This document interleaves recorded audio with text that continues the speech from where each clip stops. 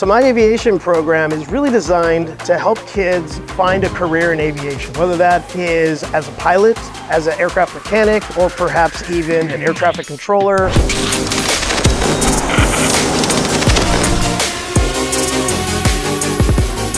I've actually just got accepted to college for aviation. It's because of this program that's made me want to become an airlines pilot.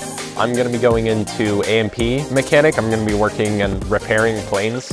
All of our flight simulators here are FAA approved, which means that we can start logging in hours. There's very few schools, very few colleges even, that have the equipment that we have here at Corona High School. So the kids really get an authentic experience that they really just aren't going to get anywhere else.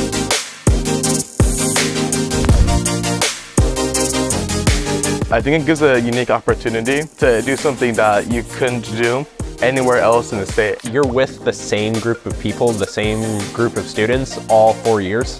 And it's great to have a class that you can do that in. As fast as possible, join it. As fast as possible. to become a pilot is a long process and the faster you get into that process, the faster you build seniority, the faster you make money, and the better off you're going to be.